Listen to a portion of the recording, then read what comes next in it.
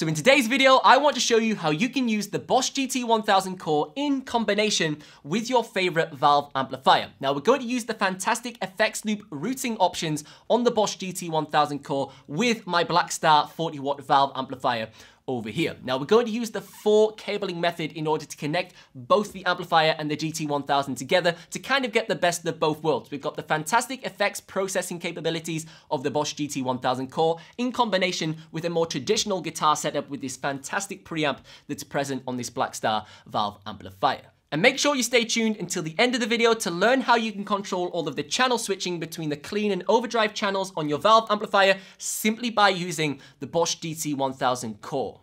So let's begin with the actual cabling method that we're going to use in today's video. Now we're going to use the famous four cable method. So that means you're going to need four cables. And what this is going to allow us to do is it's going to allow us to use the awesome feature on the Boss GT1000 core, which is the effects loop. Now, the Boss GT1000 core and my amplifier behind me here both have an effects loop, which means it's going to allow us to separate our distortion style sounds that you usually put into the front of the amplifier to push the preamp.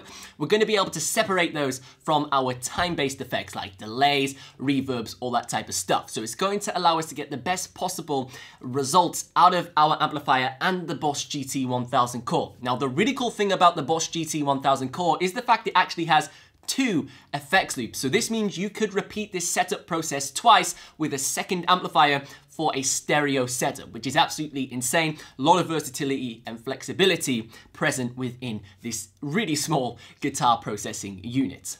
So in terms of the connections, this is what we're going to do. Now, obviously you're going to want to input your guitar through the Boss GT1000 core to utilize the effects. So let's first begin with that connection. Now, before we plug anything into the Boss GT1000 core, I want you to make sure that you turn down your output level down to zero, and also you have your amplifier on either standby or turned down to zero as well to avoid any feedback, popping, clicks in case you do the cabling wrong and you end up damaging your hearing. So what we're going to do is we're going to connect our very first cable into the mono right input on the Boss GT1000 core. So this means we're going to send a mono input into the unit because obviously our electric guitars are mono because it's a single cable. Now from here, this is where it starts to get a little bit confusing and complicated, but I'm going to try my best to break it down for you so you can follow the steps and get the results that you actually want.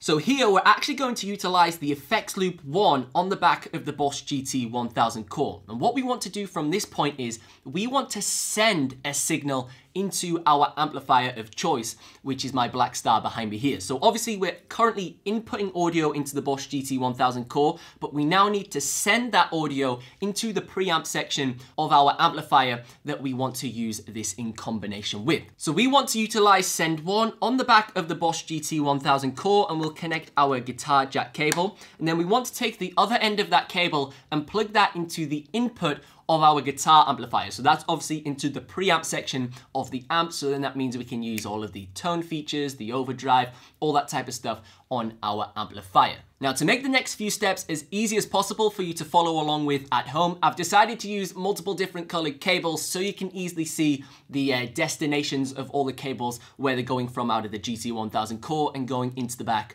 of my amplifier. So obviously what we want to do is now, now that we've sent the signal from the GT1000 core into the preamp section of our amplifier, we now want to return some audio from the amplifier back into the GT1000 core. So then we can start building up the actual loop between the two devices and start using the effects on board of this uh, unit over here. So what we're going to do now is we're going to take this red cable and I'm going to connect this into return one on the back of the GT1000 core. And then we'll take the other end of this and we will connect it into the amplifier's effects send. So we're now going to use the effects loop on the back of the amplifier. So we're going to go from the amp send into the GT1000 core return. So you can see how we're starting to build up a loop with all of these different cables that we are using within this setup. So for the final cable, we want to connect that into our master output. And we're going to use the right master output because this one is mono. So we'll connect that to the mono out.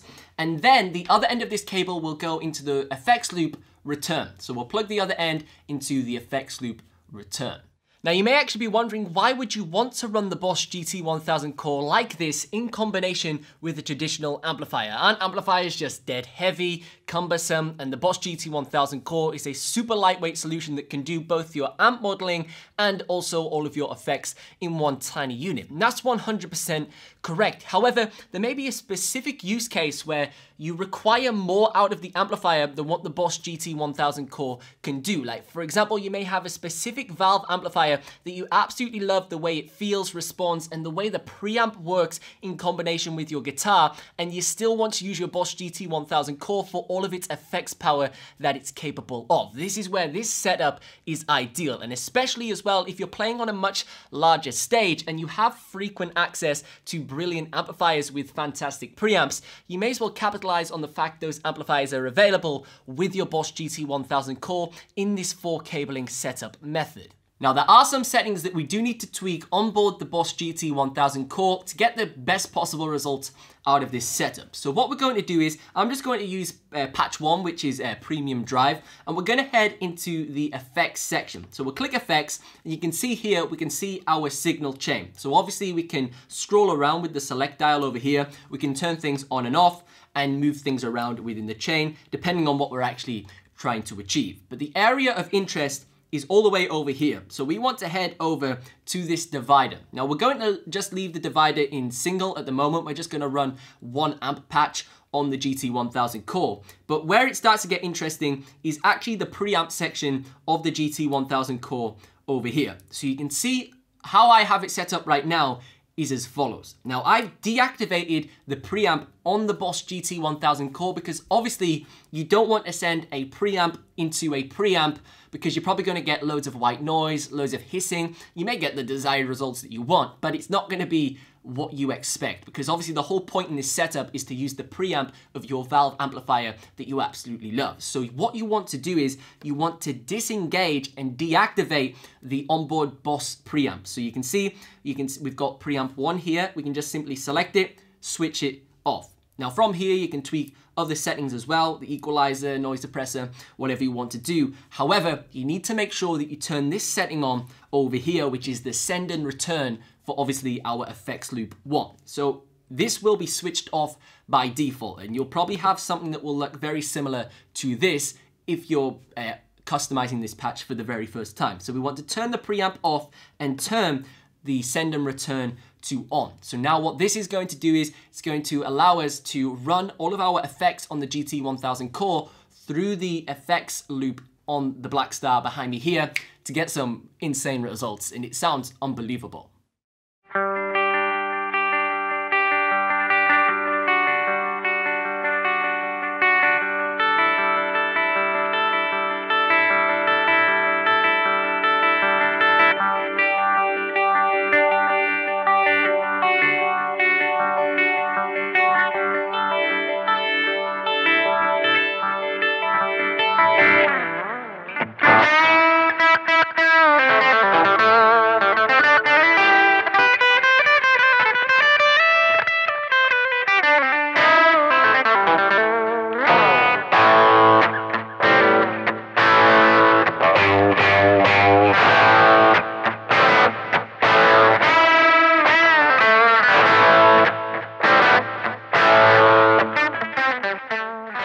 Bonus setting that I want to share with you is what you could call pure magic in terms of what the Boss GT1000 core is doing. This is perfect for all of the power users out there that want to squeeze literally every single feature out of their GT1000 core. Now, if your amplifier you're using in this setup has channel switch capabilities. For example, it's got a clean channel and a overdrive channel and you can switch between those.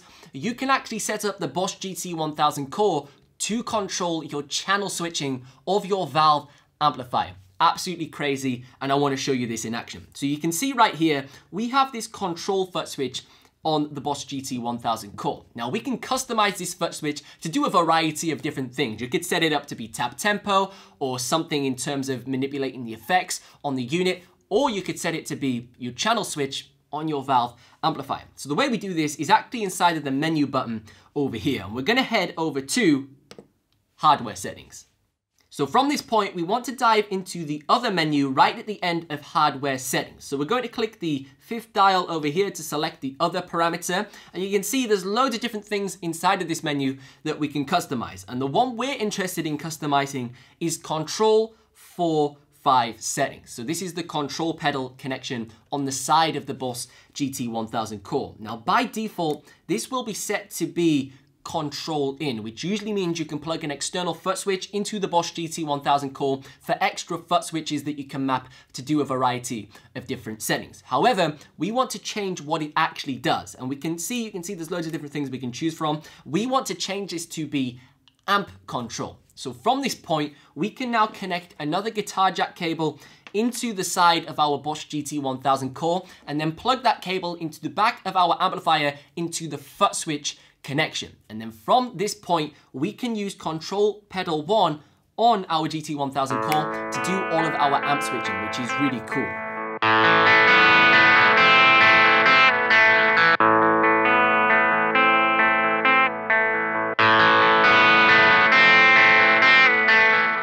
Some reason your channel switch control isn't working correctly, you may want to check one final setting, dive into the controller sign over here, go into control function, and then you want to just maybe check this function here for control one. So you can see here we can enter this third menu by clicking this fourth button.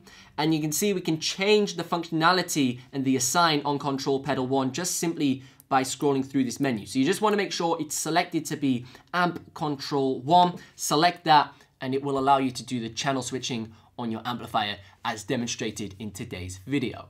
Now, if you enjoyed today's video, be sure to give it a thumbs up and also consider subscribing to the channel because I've got much more Boss GT1000 core content planned coming in the future. So turn the notification bell to on so you get notified when I upload those videos. But as always, I've been Ben Rowlands. Thank you so much for watching and I will see you in the next one.